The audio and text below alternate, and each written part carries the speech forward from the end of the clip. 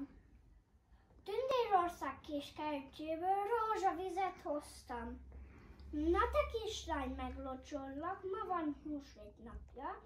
Tündököljön a kis orcát, mint a piros rózsa. Az illatos rózsavíztől megnőnek a lányok. A zsebembe beférnek a piros tojások. Szabad elocsolni. Szabad bizony. Hová? Szemben ne magad.